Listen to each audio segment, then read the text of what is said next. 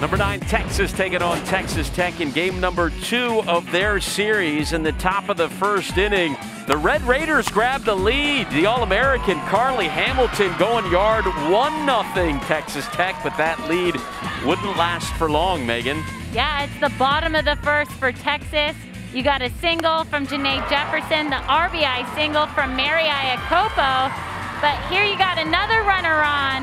Mackenzie Parker says, hey, I'm ready to go yard two. She gets a two-run shot, putting Texas up three to one. Her third home run of the season, a breakout 2021 campaign for Mackenzie Parker. Longhorns lead by two. We move on to the third inning. The Texas offense back at it. Jordyn Whitaker with the bases loaded. The true freshman with a grand slam.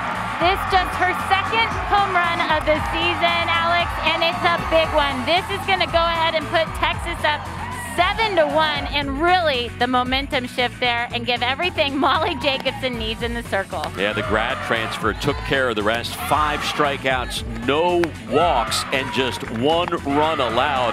She picked up win number 10 on the season to lead the Longhorns. Fourth inning, the offense putting the finishing touches on this run rule victory. Janae Jefferson went three for three.